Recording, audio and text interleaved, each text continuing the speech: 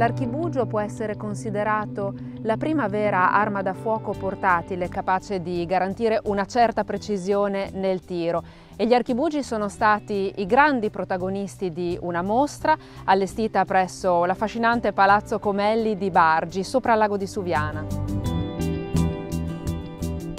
È in queste zone che opera nei secoli la famiglia Acquafresca, grandi forgiatori e maestri incisori, costruttori di preziosi fucili. A loro si deve nel 1600 una rivoluzione nelle armi da fuoco con l'invenzione dell'archibugio a ripetizione. Acquafresca deriva dai cecchi. Cecchi erano una famiglia di Creda che nel 1600 eh, circa eh, venne una grande slavina la quale eh, demolì moltissime case. Già allora Bologna dava de, dei soldi a chi aveva perso la casa. Questi cecchi, due di loro, con i soldi che, che avevano avuto, comprarono, vennero Bargi e comprarono uno Pianazzi e uno La Torazza. Erano degli abilissimi eh, fabbri però avevano una, una, mente, un genio particolare che il babbo inventò qualche cosa di meglio. Oltre che i fucili a pietra focaia, inventò la retrocarica.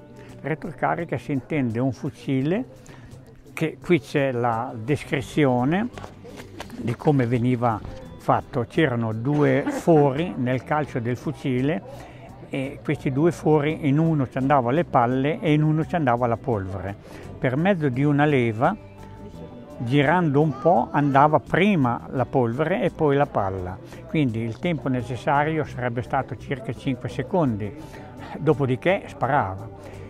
Il contenuto delle palle erano 30, quindi eh, i medici vedendo un'invenzione di questo genere eh, si accapararono praticamente la produzione di che tutte le altre famiglie molto importanti eh, aspettarono il loro turno per avere dei fucili. I fucili ecofresca non sono da battaglia, sono per i grandi signori, ecco perché sono stati chiamati il signore degli schioppi. Qui siamo di fronte a un fucile acqua fresca a pietra focaia. Eh, questo fucile è stato costruito eh, circa nel 1730 e praticamente è ancora eh, molto bello anche se ha 350 anni. Il nome acqua fresca è stato scritto qui sotto allo scodelino della polvere che si vede appunto qui acqua fresca. Un po' di polvere veniva messo nello, nello scodelino, si caricava, che adesso è già carico, poi con quella bacchetta lunghissima veniva messa la palla dentro e spinta praticamente fino qui in fondo. A questo punto l'arma era già pronta per sparare. Essendo un fucile da caccia avevano bisogno di un sostegno perché pesa molto e veniva appoggiato sulla spalla di un servitore. A questo punto è pronto per sparare. Finito, finito, questo sistema si ricominciava da capo con la polvere, spingere e la palla. Le palle erano piccole palline di piombo che ognuno aveva il suo contenitore e poi si mettevano qui, logicamente, come ho detto prima, l'invenzione della retrocarica, tutte queste palle venivano messe, qui c'erano due buchi, che non è questo perché questo e i due buchi corrispondevano qui. E in un buco ci stavano 30 palline e la, e la carica completa della polvere. In questi anni, sotto pandemia, è venuta questa idea perché da anni lavoriamo per la promozione del, del, territorio, ma sotto pandemia ci siamo trovati a fare questa ricerca molto impegnativa che è partita due anni fa. È partita due anni fa con la ricerca delle, dei, dove sono custoditi questi archibugi e scoprendo che sono custoditi nei musei di tutto il mondo e considerati eh, moltissimo, eh, erano veramente i più performanti. Avevano chiesto ai musei gli archibugi e ce li davano però visto, visto, tutti i problemi legati alle zone rosse eccetera eccetera eh, siamo riusciti con collezionisti privati. Così abbiamo conosciuto la famiglia Acquafresca, abbiamo conosciuto Osvaldo che è discendente diretto, abbiamo conosciuto Fabrizio Acquafresca che è cesellatore di diciassettesima generazione, per cui è 400 anni che lavora il ferro in, in modo artistico, è un patrimonio artistico vivente. Insieme a Mulino Cati, insieme all'associazione ABC, abbiamo fatto questo evento qua su Palazzo Comelli che era eh, vicino alla sede di, di dove venivano costruiti questi archibugi.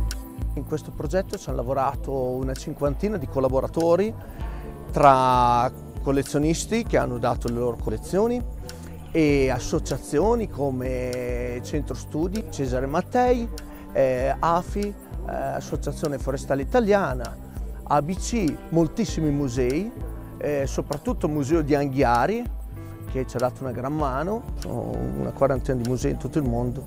Noi abbiamo solo lavorato per invitare la gente, abbiamo fatto una pubblicità micidiale, ecco perché ci piace, ci piace molto. Ah, io so, sono rimasto sorpreso nel vedere diciamo, l'impegno che hanno messo gli organizzatori nel presentare questa, questi ricordi storici relativi agli archibugi che praticamente sono nati, sono quasi stati inventati qui, decorati da questi artigiani famosi a acqua fresca che meritano un ricordo assolutamente sia sotto il profilo storico che umano, anche se si tratta di armi e quindi sono un aspetto dell'uomo eh, che si può discutere, tuttavia fa, fanno parte in modo pieno sia della civiltà nostra, sia della civiltà appenninica e quindi degne di essere ricordati, celebrati e conosciuti. Molto molto contenta di questo eh, diciamo, lavoro, molto bravi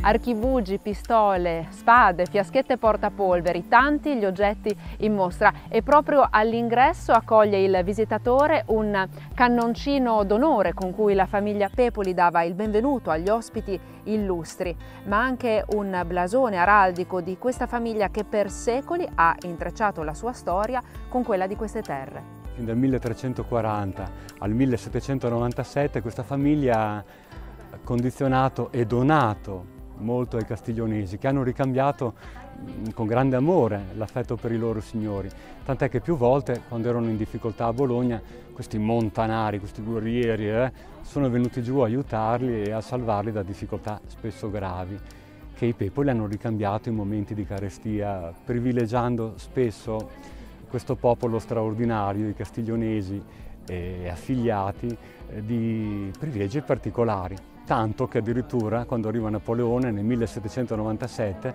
i pepolesi in massa votano per rimanere ancora con l'antica signoria e non con eh, la Repubblica Cisalpina. Quindi una storia carica di grande affetto fra i, i signori e i loro asserviti.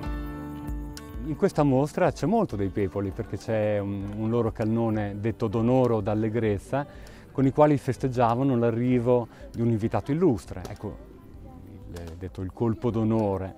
C'è lo stemma di quando i Pepoli da Conti diventano nel 1701 marchesi, c'è un, uno spadino da caccia donato nel 1868 a Gioacchino Napoleone Pepoli, l'ultimo grande personaggio della dinastia. Ricordiamo che i Pepoli erano la famiglia più ricca d'Italia, quindi eh, oggi ricordiamo i medici, ma nel 1300, nel 1200 ancora, i Pepoli erano i più ricchi d'Italia, avevano eh, territori che arrivavano fino a Trapani, Puglia, ricchissimi. Ho visto questa mostra e come ho scritto nel libro dove ho posto la firma, sensazioni esplosive, perché infatti è, è veramente eccezionale no?